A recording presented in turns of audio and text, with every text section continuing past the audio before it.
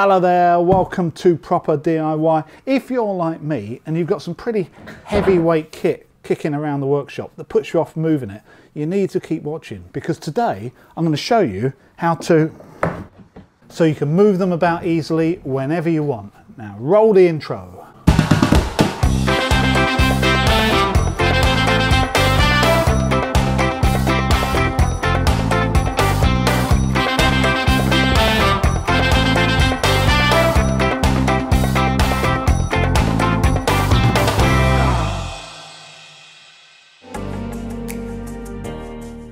When we build things in the workshop, any time you start connecting lots of bits of timber together, the weight of the piece grows surprisingly quickly. And that's exactly the problem I've got with this new workbench, which I showed you how to build last week. Link above and in the description below if you haven't already seen it.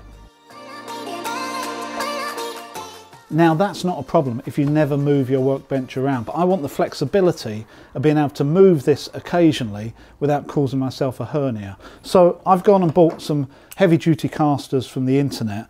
These are heavy duty, but they're only about 100 mil high. They're not that big. And what I'm thinking at the moment is fixing them in this sort of alcove that I've got at each end of the workbench. I've got a four inch deep alcove that I can put something in that's not going to get in the way. The last thing I really want is these on the outside so I can trip over them.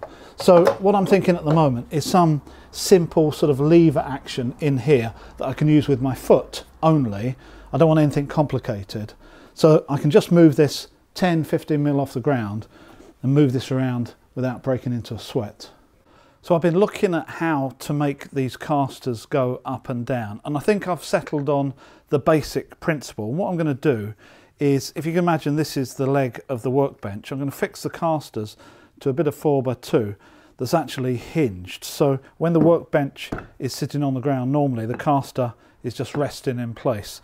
As soon as I push down on the caster then the workbench raises by maybe 15 or 20 millimeters allowing it to roll around. So I think this is the, the main principle I'm going for. It's really, really simple and there's not that much really to go wrong.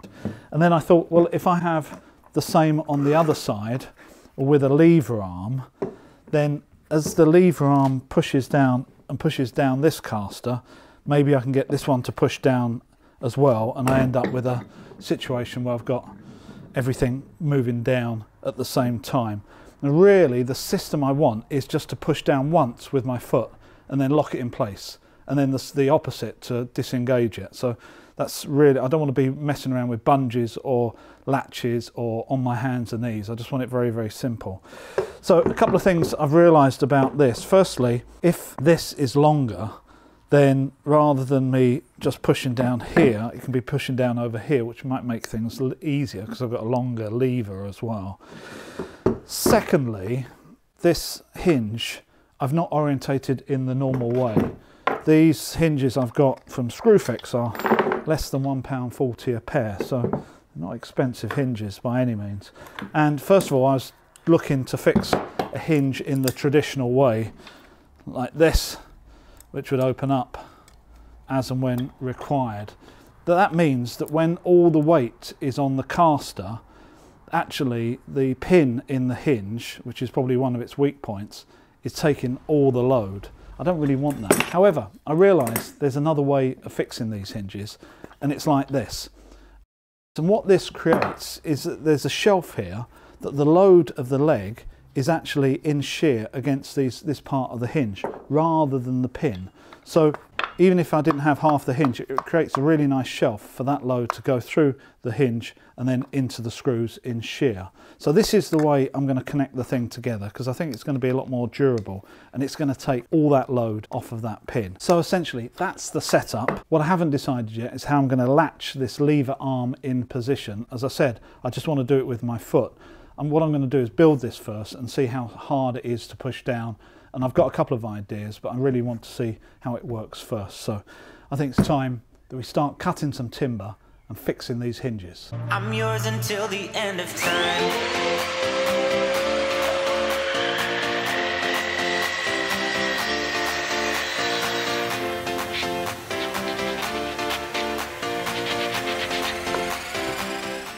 The timber I'm using here is C16 CLS 89 by 38 millimeters, which is slightly smaller than the 4x2 planed all round I constructed the workbench from, which helps fit the mechanism into the space at the end of the bench.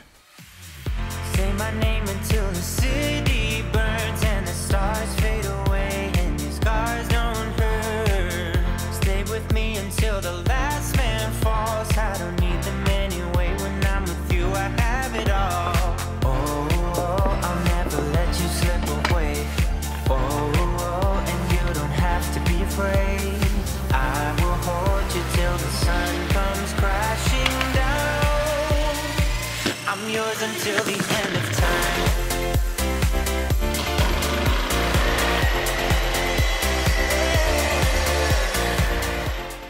I've cut the timber to length and I've glued and screwed this block to the main lever arm. And it's essentially going to work like this that as I push down on this lever with my foot both casters get forced down and it ends up in the down position like this with a caster at each end both level. And this whole arrangement's going to go in this alcove as I said earlier.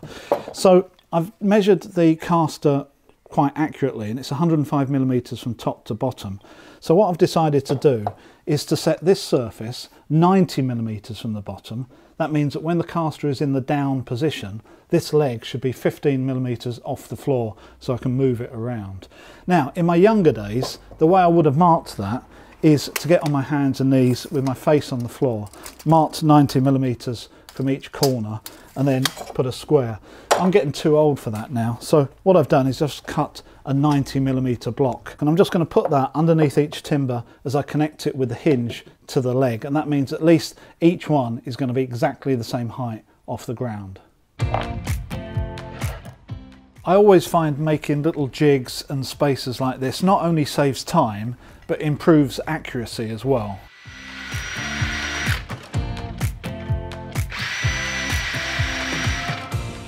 On all these holes I'm using a self-centering hinge drill bit. These drill bits aren't expensive. I've got a pack of three different sizes that's done everything that I've wanted it to and are really useful for drilling accurate centered holes for hinges. Link in the description below.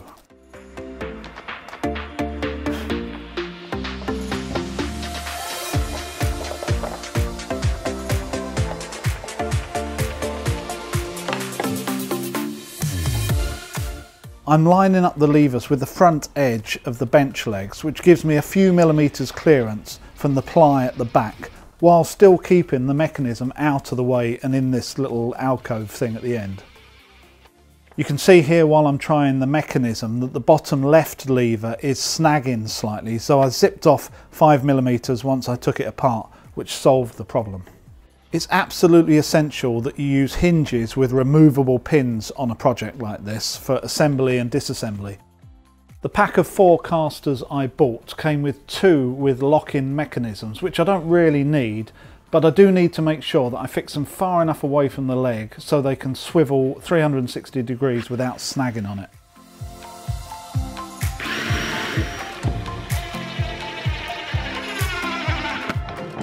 These are really easy to fit and it doesn't take long before I'm ready for my first test drive.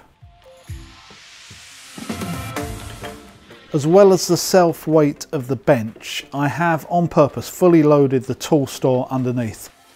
So I'm near enough at maximum load. The last thing I want is to have to clear out the tool store underneath the bench every time I move it because the mechanism can't cope with the weight.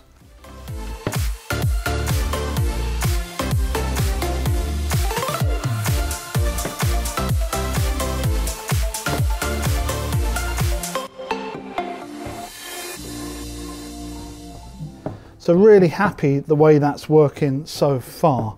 What I'm surprised about is how little force I have to put on the end of this lever arm to get this end of the workbench mm-hmm. up and in the air. I could have calculated it, I didn't bother, but I just assumed that it'd been maybe two or three times more than I'm applying at the moment, which is good news. The other thing that's interesting is once it is in position, it's right down, how little force I need just to keep it in that position. It's only a kilogram or so.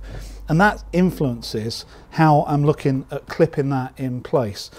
And I think I can do it just by using like a right angle bracket like this. And this is a sort of bracket that's left over after you've constructed a load of IKEA furniture and you just keep in your stocks for some time. I've had this for an awful long time.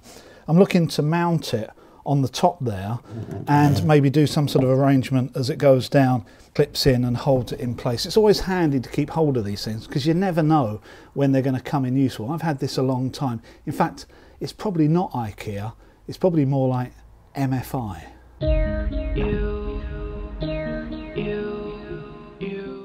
If you haven't been collecting brackets like me for the last 20 years, these type are really easy to find in DIY shops and they come in lots of different shapes and sizes.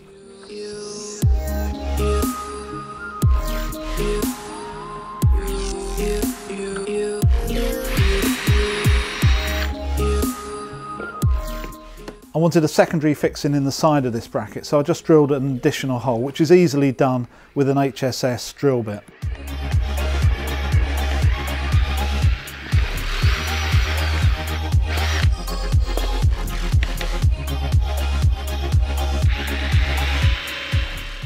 I also widen the bottom of the slot with a step drill so the head of the screw that I'm going to use as a latch easily fits through it.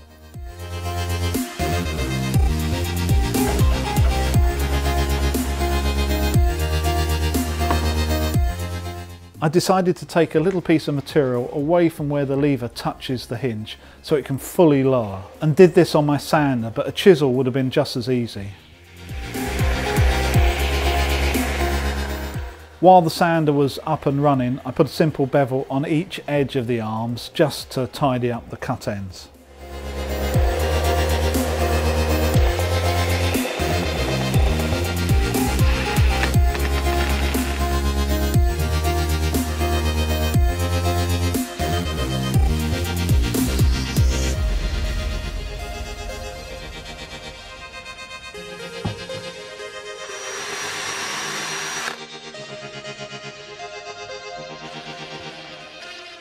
I'm taking advantage here of a bit of sideways play from the hinge to be able to latch the bracket onto the screw head.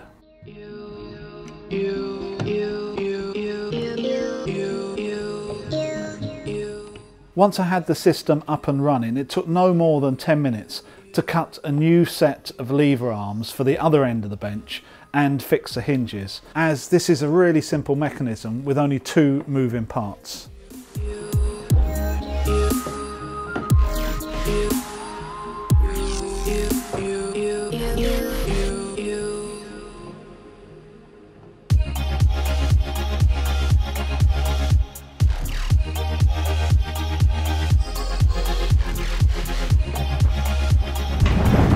So I can finally move this around the workshop. All I need now is a nice smooth floor, but that's a video for another time. I hope you've enjoyed this one. If you have, please check out the other ones on my channel and please, please subscribe. There's so much more coming up. So from a workshop that's now got a workbench I can move around, I'll see you next time.